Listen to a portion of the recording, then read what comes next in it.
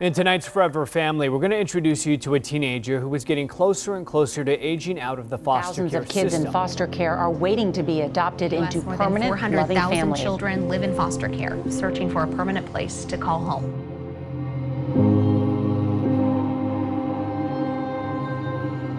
I've been to about five or six different foster homes, and two of those were adoptive families that have been disrupted, like in the late stages.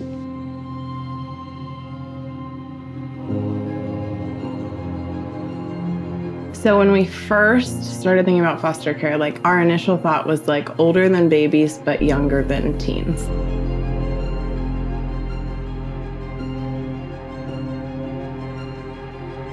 I was in Schaffner Youth Center. It was like a detention center for like kids on probation.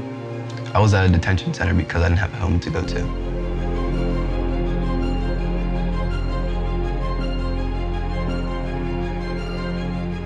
I just think of all of the kids that we just don't know who they are and it's like for no fault of their own, they're just waiting.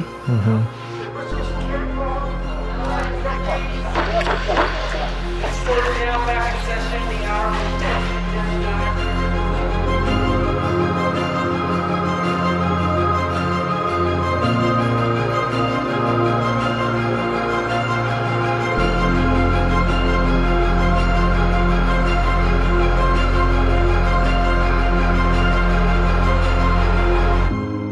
I just like needed somebody to be there with me, like to help me through those really hard struggles, like that never gave up and like believed in me, you know.